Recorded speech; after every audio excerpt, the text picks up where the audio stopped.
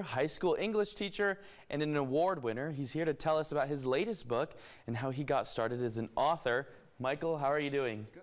Good. That's great to hear. I know that it can be an early morning, and you you actually had quite the drive this morning as well. Bit, yeah. You're a high school teacher in Wyoming. Where at there? Um, I teach in Newcastle High School. Newcastle High School, mm -hmm. which is in Wyoming. It's about an hour away. Thanks for making that drive.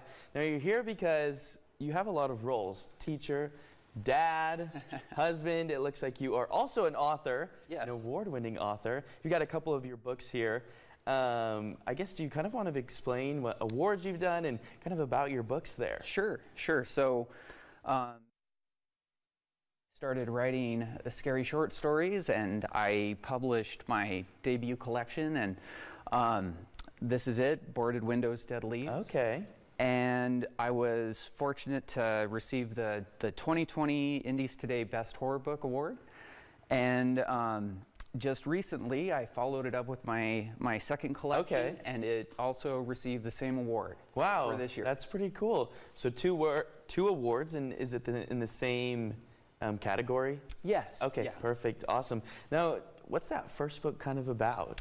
So, um, ever since I was a, a small child, I, have been really interested in, in all things scary. And so it's, it's a collection of nine scary stories. Um, the stories were published in various outlets. And when I had enough to put a book out, I um, found a publisher, uh, Spooky House Press out of New York. Okay. And, and they released my book. Well, that's very exciting. So you're a teacher and an author. How did you get started as an author if you're a teacher, or which one came first? Um, so I was a teacher first. this this is my 12th year teaching. Wow.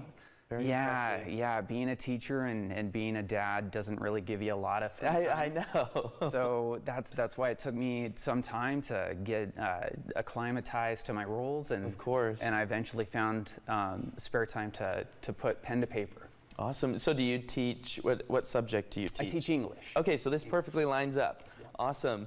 Um, I guess what kind of got your process for horror books? Oh gosh. Um, you know, uh, one reason why I'm an English teacher is when I was a kid, I, I fell in love with, with literature, um, reading Edgar Allan Poe yeah. in, in junior high, and um, the Goosebumps books, of course, but just fell immediately in love. Awesome. And so that's kind of transcribed into what you're writing today. So you've got these two books. Is there another one happening in the future? That's the plan. Um, very, very early in the process, but yeah, that is yeah. the plan. So what does that writing process kind of look like when you're writing a book like this? Um, gosh, inspiration just is weird. It strikes at odd different times. times yes, yeah. absolutely. So is it? You, are you one of those people that you get inspiration and you have to write it down right away, or? Uh, yeah, sort of, kind of. Yeah, yeah, I've got uh, spare pieces of paper with ideas around the house. Yeah, of course. And is it kind of just random, sporadic moments, or is there a theme? Um, gosh, uh, sort of, kind of. Like sometimes there's a theme, sometimes it's just completely random. Awesome. Well, thanks for joining us this morning, Michael. It's fun to learn about all the things you're doing, trying to balance it all, I'm sure. Well, coming